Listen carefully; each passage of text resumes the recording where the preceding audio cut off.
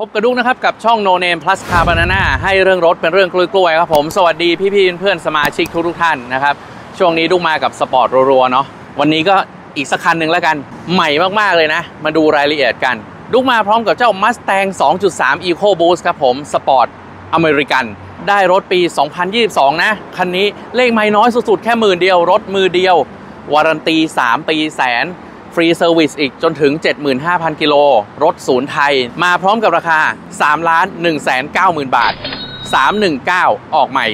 379 ประหยัดไป 6 0แสนสวยๆ แบบนี้ไปชมกันเลยดีกว่าครับ ฝากกดไลค์กดแชร์เป็นกำลังใจให้ช่อง No Name และ Car Banana ฝากกดหน่อยนะครับ ฝากกดหน่อยนะครับ กดหน่อยนะครับ กดเลยครับพี่ พี่ยังไม่ได้กดเลยกดเลย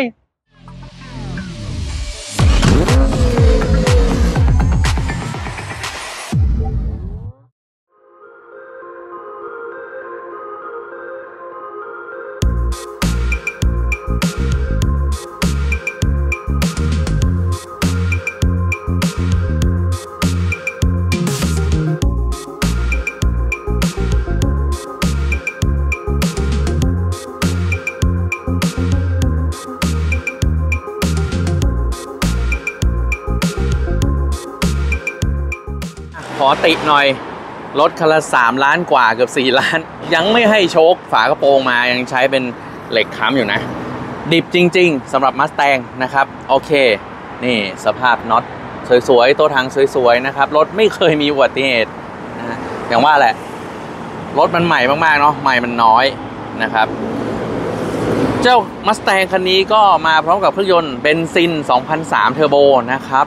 เกียร์ออโต้ 10 speed 10 speed ก็คุ้นๆเนาะอยู่ใน Raptor นะฮะก็ทำงาน smooth นุ่มนวลนะครับ จังหวะสปอร์ตก็ขับมันได้ แรงม้าคันนี้อยู่ประมาณ 300 เอ้า แล้วมันจะกินน้ำมันไหม แน่นอนครับ รถสปอร์ต มันก็ประหยัดได้ไม่มากเท่าไหร่หรอก คันนี้ก็ 10 ต้นๆนะครับ 10 กิโลเมตรต่อลิตรบวกลบ แล้วแต่เท้านะครับ ถ้าสนุกขับก็ตกอยู่ประมาณ9ถึง 10 ดิบเถื่อนๆ ตามสไตล์ muscle car อเมริกันนะครับ โอเค เดี๋ยวไปดูความสวยรอบคันกันต่อเลยครับ สวยจัดจริงๆนะฮะ แดงสดๆเลยแล้วก็ wrap กันรอยมาแล้วรอบคันนะครับ ก็คือพร้อมใช้มากๆ นี่ โอ้ มันเป็นรถที่สไตล์ดุดันมากๆ ไฟหน้าออโต้นะครับ เป็นไฟสไตล์แบบหนัง Transformer เลยนะ คือไม่ต้องไปแต่งอะไรแล้ว สวยๆ แบบนี้เลยนะ ไฟเลี้ยวอยู่ข้างล่างนะครับ กระจังหน้าพร้อมสัญลักษณ์ม้าป่านะครับ โอเค นี่ล้อเดิมโรงงานขอบ 19 นะครับ มาพร้อมกับยาง 255 เท่ากันทั้ง 4 เส้นนะครับ ไม่ต้องตกใจนะ อันนี้โลโก้ 5.0 เจ้าของเดิมแปะเพื่อความสวยงามนะครับ จริงๆแล้วเราเป็น EcoBoost 2.3 นะครับสเกิร์ตล่างนี่มาสวยๆแบบนี้ กระจกสีดำนะครับ ฝาถังน้ำมันอยู่ด้านซ้ายนี่พร้อมสปอยเลอร์หลังสีดำสวยๆนะครับ ไฟท้ายก็ตามสไตล์ Mustang นะครับ ไฟท้ายเขาเป็นอย่างนี้มาตั้งแต่รุ่นแรกเลยนะ คือเป็นแนวนี้เป็นแนวตั้งแบบนี้นะครับ รุ่นแรกเขาก็เกิดมาตอนปี 64เนี่ยลืมบอกไป คันนี้เป็นโฉมที่ 6 นะครับเจเนอเรชันที่ 6 นะฮะ โอเค ท่อไอเสียออกซ้ายและขวานะครับ ฝากระโปรงท้าย เปิดผ่านรีโมทนะ กด2ครั้งแบบนี้อ่าแล้วก็ยกขึ้นนะครับ ที่เก็บของลึกมากใหญ่มากนะครับ ตามสไตล์รถคูเป้เนาะเพราะว่าพอมันเป็น 2 ที่นั่งปุ๊บ แล้วไซส์รถมันใหญ่มันใส่ของได้เยอะนะครับอะโอเค แล้วก็คันนี้เนี่ยเซ็นเซอร์รอบคัน และกล้องมองหลังก็มีมาให้แล้วนะครับ เดี๋ยวไปดูภายในรถกันครับ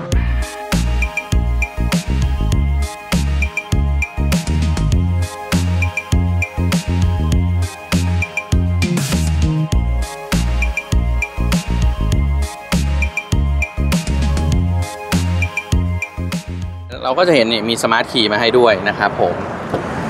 ใช้งานได้สบายๆ เปิดมาก็กระจกจะเป็น frameless แบบนี้นะครับ ตามสไตล์รถสปอร์ตเนาะข้างในก็ตกแต่งด้วยหนังสีดำล้วนนะครับ เดินด้ายสีขาว นี่ก็สวิตช์ปลดล็อกล็อกรถนะปรับกระจกต่างๆนะครับ สวยๆครับผมนี่เบาะเป็นเบาะปรับไฟฟ้าแบบ semi นะครับ ก็คือ ด้านล่างปรับไฟฟ้าในส่วนของตัวด้านด้านหลังพนักพิงหลังเนี่ยปรับ manual นะครับก็ยังคงในส่วนของความดิบไว้นะฮะพวงมาลัย multifunction แบบนี้นะครับสภาพเบาะสวยๆ ไม่มีรอยยับเลยนะฮะอะเดี๋ยวไปสตาร์ทเครื่องกันครับ กุญแจก็เนาะปลดล็อกล็อกรถ เปิดฝาท้ายนะครับก็ขออนุญาตวางไว้ก่อนแล้วก็กดปุ่มสตาร์ทนี่ เจ้าของเดิมใส่ตัวครอบสวิตช์มานะครับ ก็ดูเป็นเหมือนเครื่องบินเลย เข้ามาเนี่ยเราก็จะเจอพวงมาลัย multifunction แบบสารพัดปุ่มแบบนี้เลยนะครับ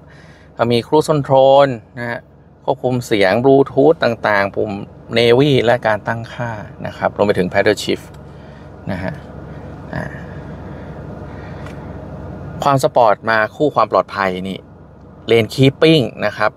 นี่อยู่ตรงก้านไฟเลี้ยว คือที่เซอร์ไพรส์มาก ๆ ก้านไฟเลี้ยวมันอยู่ด้านขวา นะปกติเราขับรถอะไรที่มันไม่ใช่ญี่ปุ่นก้านไฟเลี้ยวมันจะอยู่ด้านซ้ายเนาะเจ้านี่อยู่ฝั่งเดียวกันกับรถญี่ปุ่น เพราะฉะนั้นก็จะไม่สับสนนะฮะไม่เปิดที่ปัดน้ำฝนผิดอีกต่อไปนะครับ เลขไมล์หนึ่งหมื่นเจ็ดร้อยกิโลรถใหม่เอี่ยมมากนะครับนะโอเค ไฟออโต้ปัดน้ำฝนออโต้นะนี่ก็จะเป็นสวิตช์บิดๆอยู่ด้านข้างแบบนี้นะ fog lamp นะครับ แล้วก็นี่ตัวไฟตัดหมอกแล้วก็ fog lamp ด้านหลังนะฮะ โอเค กระจกมองหลังตัดแสงนะครับ หน้าจอ touchscreen และ interface เป็นภาษาไทยใช้งานง่ายๆนะครับ ถัดมาแอร์แยก 2 โซนเนาะแล้วก็โหมดต่างๆนะครับ โหมดคันนี้มันจะมาโชว์ที่ตรงหน้าปัดด้านซ้ายนะครับนี่ให้ดูตรงนี้นะ ปกติ Sport Plus นะครับ สนามแข่ง แล้วก็นี่เลยแข่งทางตรงสไตล์รถอเมริกันนะครับ แล้วก็rain นะครับผมนะลูกก็จะมาอยู่ที่ปกตินะฮะแล้วยังไม่พอมันยังมีปรับพวงมาลัยอีกนะครับอะมันก็โชว์ที่เดียวกันกันนี่พวงมาลัยแบบธรรมดา แบบสปอร์ต แบบนุ่มนวลนะครับผม เออ ก็เข้าใจเล่นของเล่นเยอะนะฮะ ผ่านมาตรงนี้ก็เป็นเกียร์ออโต้10 speed นะครับ ก็คือเข้าตรงๆนี่แหละ ไม่ต้องมาเป็นไฟฟ้าหรือไม่ต้องมาเป็นสเต็ปนะฮะเน้นง่าย ๆ เข้าใจง่ายนะครับ ใช้งานง่าย ช่องใส่แก้วน้ำเบรกมือเป็นแบบดึงๆนะครับ แล้วก็ที่เก็บของนะตรงพนักวางแขน สภาพเบาะเนี่ยไม่มีรอยยับเลยนะครับเกตหน้าเป็นยังไงบ้างนี่กดตรงนี้นะ แล้วก็ จะไปที่ใส่เอกสารมาแบบนี้นะครับคอนโซลตกแต่งด้วยแถบอลูมิเนียมนะตรงนี้ก็มีโลโก้ Mustang นะครับ โอเคมาพูดถึง feeling การขับขี่นะฮะสิ่งที่เซอร์ไพรส์มาก ๆสำหรับเจ้าสปอร์ตคันนี้นะ คือเบาะมันนั่งสบายแฮะเป็นรถสปอร์ตที่เบาะนั่งสบายมาก ๆ ครับ เออแปลกใจคือมันมันไม่ได้ แข็งกระด้างหรือบีบจนเกินไปนะครับ ในส่วนของการขับขี่ ก็คือมันจะออกแบบฟีลลิ่งอเมริกัน คือเขาเรียกอะไรดีครับ ทุกอย่างจะมีความหนักในตัว มันไม่ได้เบาสบายเหมือนรถญี่ปุ่น แล้วมันก็ไม่ได้กระฉับกระเฉงเหมือนรถเยอรมันนะครับตอนนี้คือแบบมันจะมีหนักๆให้เหมือนกับเราต้องสั่งมันในตัวรถนะครับ ช่วงล่างดี firm เกียร์ต้องทำความเข้าใจเขานิดนึงนะครับในการเหยียบคันเร่งเนาะถ้าสมมุติเราจะเปลี่ยนเกียร์ด้วยเท้าหรืออะไรเงี้ยจะลากรอบหรืออะไรก็แล้วแต่นะครับผมเออเป็นรถที่ขับสนุกอ่าแล้วก็พอตอนขับแล้วเนี่ยเออมันรู้สึกแบบ feel มันได้นะครับอเมริกันนะอธิบายไม่ถูกอยากให้พี่ๆเพื่อนๆที่สนใจมาลองนะครับนะโอเค แล้วก็เจ้านี่ มีด็อกซีทข้างหลังด้วยเป็นบวก 2 ที่นั่ง เดี๋ยวจะเอาตัวอ้วนๆลองไปนั่งให้ชมกันครับ อย่างที่บอกในทุกคลิปลุกสูง 172 หนัก 90 นะฮะอ้วนนะครับ เข่าติดนี่ขนาดตัวไซส์ลูกยังติดเลยนะ หัวชนราคานะครับ แต่ก็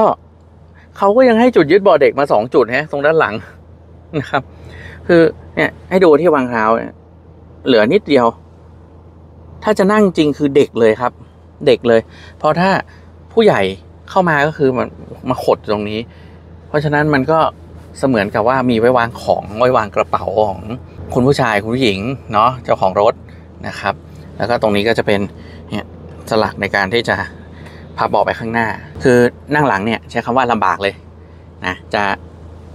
มีคนขอติดรถไปก็ต้องมาขดอยู่ข้างหลัง เมื่อยแน่นอนครับ เพราะฉะนั้นคันนี้ใช้ 2 คน